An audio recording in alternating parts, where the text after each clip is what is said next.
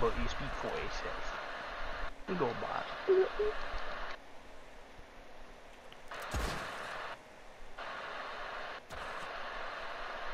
That was the most traumatic fucking drop in the world.